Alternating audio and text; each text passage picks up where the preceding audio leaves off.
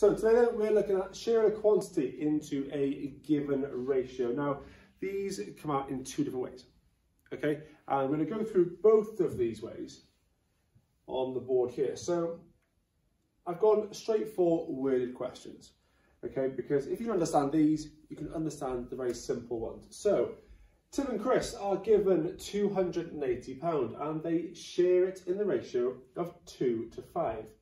How much did they each get? Right, I need a highlighter. So I've got Tim and Chris.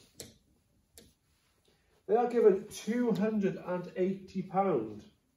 They share it in the ratio of 2 to 5. And how much did they each get? Right, so that's our important word, a key word here. Now, there's a couple of different rules with ratio. Now, our ratio is 2 to 5. Okay, and our first rule is we have to look at the order of the names. So, Tim is first and Chris is second. So therefore, Tim gets two parts, Chris gets five parts. That's our first rule. Be careful with the order of the names. Now, to give you a visual, Tim's going to get two parts. Chris is going to get five parts. And we are sharing £280 between these two people. So we need to work out the value of each of these parts. Now, if all of them are 280, we have got seven parts. Okay, so the first thing we've done, we've added the parts. 2 add 5 is 7. I've got £280 to share between the seven parts. Well, 7 fours are 28, add the 0. So each of these parts are worth 40. So then if Chris has, sorry, Tim has two parts, then Tim has 80 pounds. So then if the original ratio was 2 to 5, if we times them by 40, then Tim gets 80 pounds and 5 times 40 is 200. Now, I know that's correct by a simple checker method. If I add these two together, they should equal the number in the question. 80 add 200 is 280. So I know I am correct. So the first thing we did, we added the ratio. Let me drag this over here. First thing we did is add the ratio.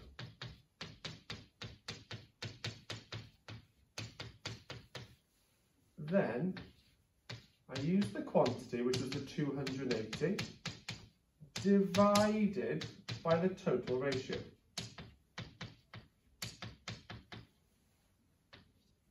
And then whatever that number is, multiply that number by your original ratio. So you multiply ratio by the answer for step two. So we add the ratio, quantity divided by total ratio, and then multiply this number by your original ratio to find out how much each person received. And it's the same every time. You may have a question like that, or the other variation is something like this. So Bella and Tilly share treats into the ratio 4 to 3. Tilly received 15 treats. How many did Bella receive? So let's remember our rules from before. We've got 4 to 3 is our ratio. Let me get some get a highlighter. So we've got Bella and Tilly. Share treats in the ratio 4 to 3. But Tilly received 15. How many did Bella receive? And the more of these you do, the more the more easier that the highlighting gets, okay? You look for keywords, the more numeracy questions you do. So remember our first rule? Bella comes first in the question, therefore Bella is the first number of the ratio. Now this one's different.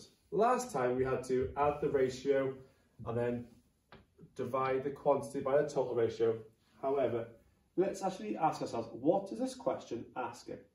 We can see a ratio, but this time, Tilly received 15. So we know that Tilly gets 15. This is our question mark. Now, we need to find the relationship between this ratio and this ratio with this arrow here. Now, what have we done to 3 to get to 15? We've added 12, but we're not going to use add or subtract. We're going to look at times or divide. We have times it by 5. Now, because you've times that by 5, you must times this by 5. It is similar to fractions. 4 times 5 is 20. So in the ratio of 4 to 3, if Tilly got 15 treats, then Bella must have got 20. Okay, if we're looking at fractions, then Bella has received 4 out of 7 parts.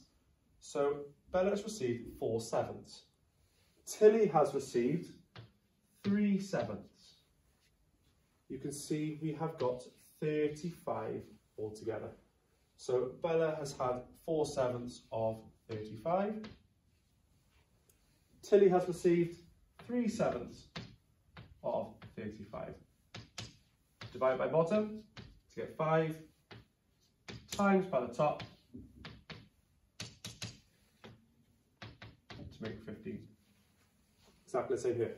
Divide by bottom to get 5 times by 4 to make 20. Okay, so if the question is asking for a fraction, remember your denominator is the total parts within the ratio. Okay, so just to recap, if they're asking you to share a quantity by a given ratio, remember, add the ratio, then the quantity divided by total ratio, and then whatever that number is, multiply by your original ratio. That's the first of question. Second of question looks like this. Write down the information they've given you. And then you'll be able to work out the relationship by multiply or divide to find out the missing value. If it asks for fractions, remember your denominator is the total amount of parts in the ratio. Hope that helps. Good luck. Have a go.